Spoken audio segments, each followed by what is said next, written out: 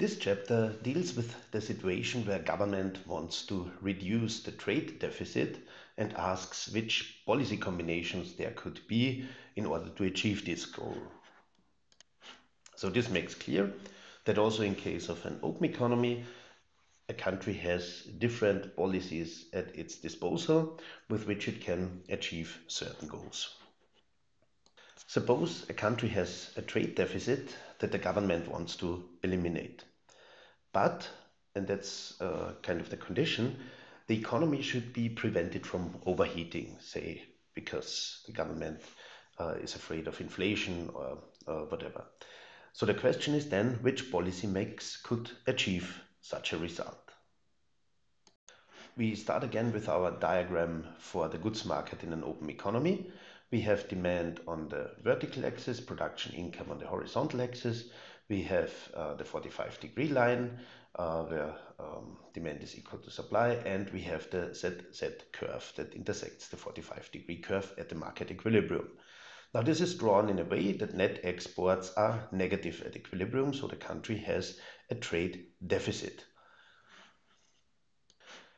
Now, what can such a country do in order to reduce the trade deficit? Well, provided that the Marshall-Lerner condition is fulfilled, the country could devalue its currency, as we've seen in the previous chapter, in order to increase net exports from NX to NX prime, basically. So in this case, if nothing else would change and if there were no other second round effects, the uh, trade balance would um, be zero, so there would not be a trade deficit anymore.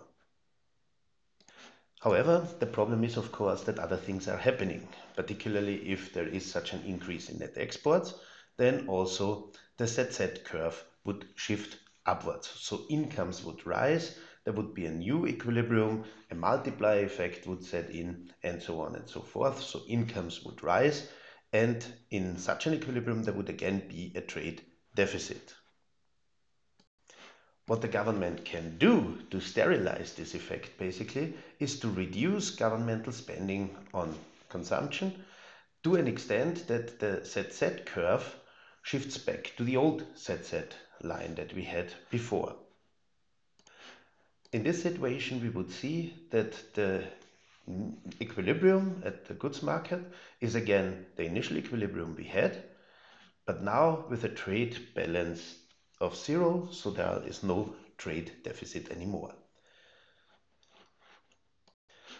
So the policy mix, the policy combination to achieve this goal of eliminating the trade deficit is to have a devaluation of the currency first. If the um, Marshall-Lerner condition holds, this reduces the trade deficit, but there would be additional effects on income and therefore imports so that the trade deficit would emerge again.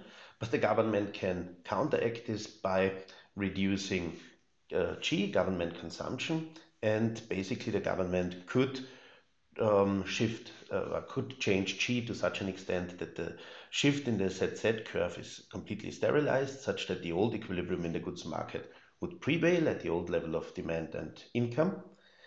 And at that point, however, the trade deficit would be eliminated.